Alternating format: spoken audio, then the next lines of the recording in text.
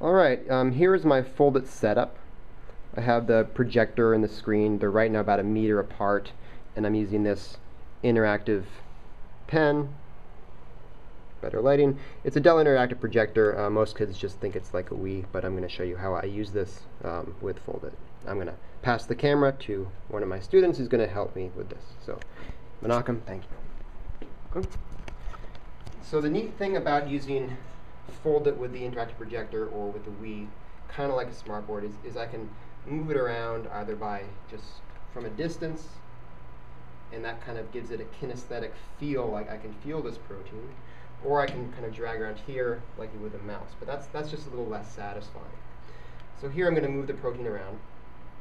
And how I might use this in class is I might, first of all, go in here and say, well, what is going on with these, these red dots?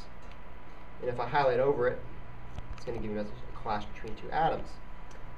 The benefit then of the interactive projector is I can ask, you know, what's actually going on here?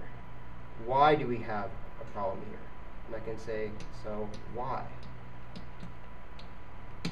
Why are, can, if atoms are too close? And we can talk about, well, if we have electron clouds, you know, or, or hydrogen bonds or something, why is that a, a, a bad thing? So very quickly we can go from a student working on this as a game to saying, well, why is that happening?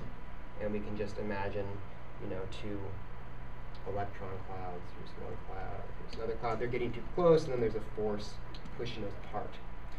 Um, similarly, clear that out, you know, you can quickly quiz and say, what is that?